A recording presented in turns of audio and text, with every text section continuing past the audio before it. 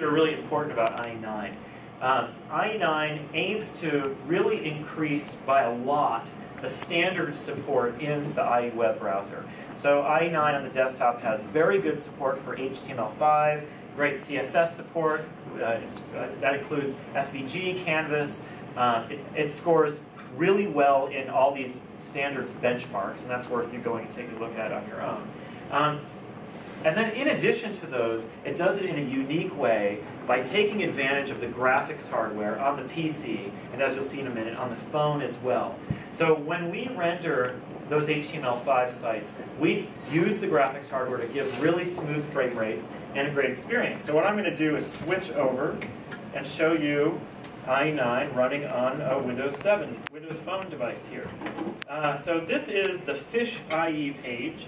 This is this uh, website is part of the IE9 test drive. So if you've downloaded IE9 on your PC and you've looked at all these HTML5 sites, this is one of the examples. And the way this works actually is the core browsing engine software for IE9 that our team has been building for the PC, we've actually been building simultaneously for the PC and the phone. So the same code is running in both places. For consumers, that means you're going to get a very compatible experience. And for developers, it means that you don't have to separately worry about nuances in the way you author websites. When you author a website for the PC and test it on the PC, it's going to look great on the phone as well.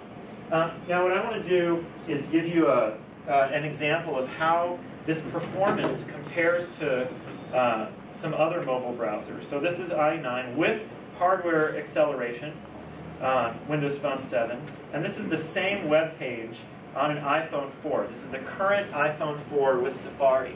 And you can see here's 50 fish, swimming smoothly, everything's laid out nicely, and there the Safari browser, without hardware acceleration, can't produce the same smooth, high frame rate that Windows Phone 7 does with IE9 with hardware acceleration.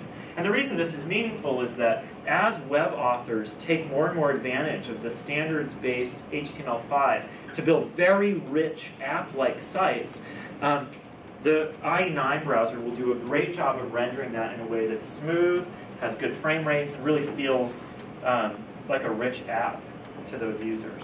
Um, I'm going to give you one other example here and browse over to another site that we've had on the IE9 test drive. Um, and this is a sample IMDb site. So again, this is HTML5, and I can browse between movies in our IMDb site here. And you can see it's really smooth and interactive. The frame rate is good. I can touch this little play button, and it'll go into kind of an automatic carousel.